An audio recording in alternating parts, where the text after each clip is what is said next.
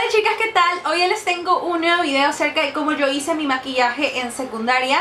Déjenme decirles primero de que este video me estaba encantando y encantando verlos por internet Así que yo dije quiero hacer uno en mi canal Espero que les guste bastante, vamos a empezar rápido.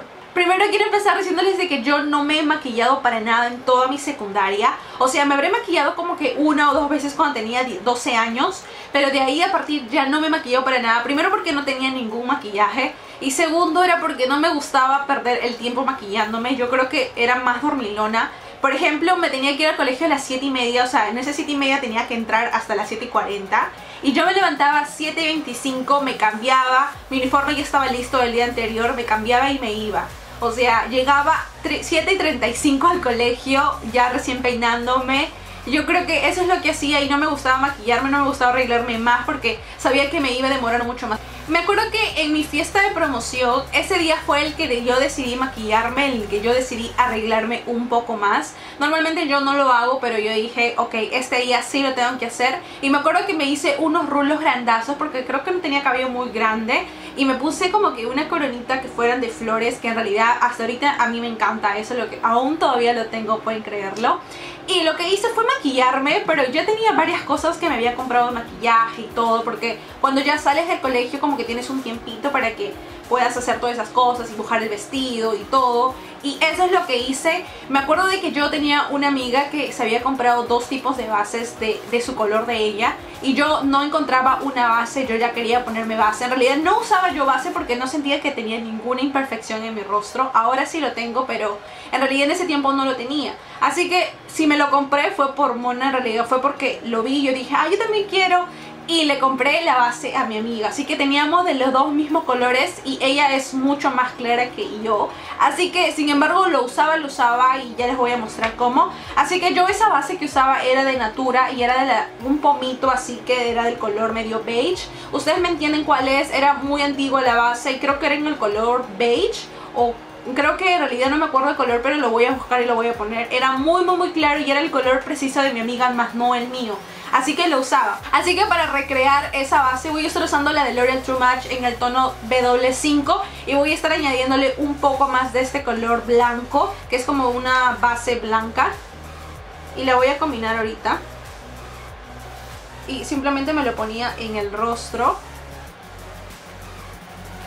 Claro que no me ponía mucho porque no me gustaba para nada llevar mucha base porque sentía de que sentía muy llena mi cara, o sea, sentía como que tenía mucha cosa en mi cara, pero ese día sí quería llevar algo de maquillaje, en serio. Así que lo que hice fue ponerme todo en mi cara. En realidad no sé cuánta cantidad me eché, pero la cosa es de que empecé a, a sobármelo con mi cara y me acuerdo que me demoré como 20 minutos en hacerlo porque no estaba como que en mi cara, ¿me entiendes? Se me veía como que un fantasma, en serio. Y esta base, claro que era mucho más clara que mi piel. Y me acuerdo también de que yo hacía lo mismo anteriormente. Mi tía es como que súper, súper blancona. Y yo soy más trigueña, más morena. Y yo usaba su base, pueden creerlo. Llegué creo que un día o dos días que yo usé su base y estaba como que... Para mí estaba perfecto, estaba feliz yo con la base. Pero mis amigas estaban como que... ¿Qué pasó? ¿Qué te hiciste en esta cara? Claro que yo no me echaba tanto en ese tiempo, pero en realidad parece una máscara y lo que me gustaba era echarme en toda mi cara. Yo no usaba corrector en ese tiempo, no, me, no sentía, no sabía lo que era un corrector prácticamente. Y yo me lo ponía en toda mi cara, en serio, en serio, en serio. En mis cejas también. Luego de la base lo que hacía simplemente era agarrar polvo y yo usaba bastante el polvo de Natura, es el que compras el polvo y lo vuelves a poner cuando yo compras el empaque. Me encantaba y hasta ahorita yo creo que es un buen, muy buen polvo para que si ustedes quieren empezar Cuesta alrededor de 90 soles si no me equivoco y también le había comprado a mi amiga ese polvo, me acuerdo. Y lo que hacía simplemente era ponerlo en todo mi rostro. Yo creo que usaba el tono medium y yo creo que eso es lo que hacía para balancear mi rostro. Así que voy a estar usando este polvo que sería más o menos el de BH Cosmetics en el tono 240. Y lo ponía en todo mi rostro.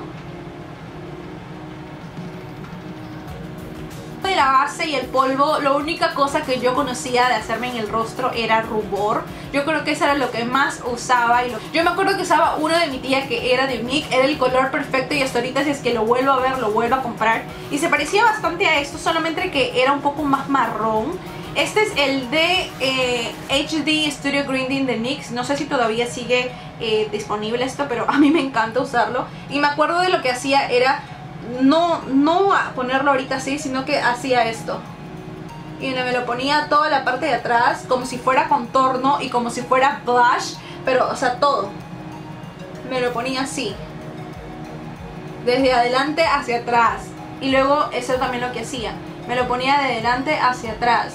Y a mí me encantaba usar este tipo de colores porque era medio marronado, así que yo pensaba que era dos en uno y sentía de que también me podía como que poner un poco de contorno o poner un poco más de bronzer y también difuminarlo con el blush y en realidad no, no, yo sentía de que era lo más genial porque ya no tenía que gastar en otra cosa. En esa temporada creo que estaba de moda usar el bronzer porque creo que era algo de Kim Kardashian, algo así que ella usaba bronzer y eso es lo que yo hacía, usaba dos en uno y lo ponía hacia atrás y lo difuminaba y lo difuminaba hasta que yo decía, mmm, ya está. Ahora para los ojos también agarraba el maquillaje de mi tía y yo creo que ella tenía sombras individuales y es lo que usaba en mi maquillaje. Así que yo llevaba ese día un vestido medio eh, rosado claro. Era como que un rosado medio carne, medio de color de piel, algo así. Y la verdad me encantaba bastante ese vestido y hasta ahorita lo tengo. Creo que lo tengo acá, lo he traído y la verdad me encanta ese vestido, solamente que ya no me queda.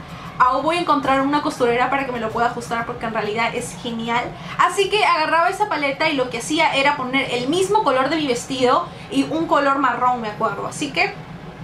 Así que lo que hacía era, no tenía brochas para nada porque mi tía tampoco tenía y yo no sabía que eran brochas. Agarraba mis dedos y lo que hacía era poner... Y lo que hacía era agarrar un color como que este Bermer, que es muy muy parecido al color de mi vestido y ponérmelo en todo, en todo, en todo, en todo, en todo mi párpado en todo mi párpado. Ahora, yo no sabía de que tenía que ponérmelo arriba o tenía que ponerme un poco más abajo. Simplemente me lo ponía en todo. Y eso es lo que hacía. Luego agarraba un color más oscuro que vendría a ser un marrón. Y lo que hacía era agarrar un marrón que sea, que, tenga chispitas, que tenga como que brillitos. Y agarro, voy a agarrar este que se parece bastante al que usaba, me acuerdo. Y me lo ponía acá por alguna razón me lo ponía acá. Yo creo que era porque miraba mucho a mi tía que hacía eso. Y yo no sé si ella en ese tiempo sabía de maquillaje o no sé, pero lo difuminaba y lo difuminaba. Así. Y me gustaba bastante de que esté como que la mitad marrón y la mitad del otro color. Así que lo, lo ponía bastante. Y luego el otro lo ponía acá.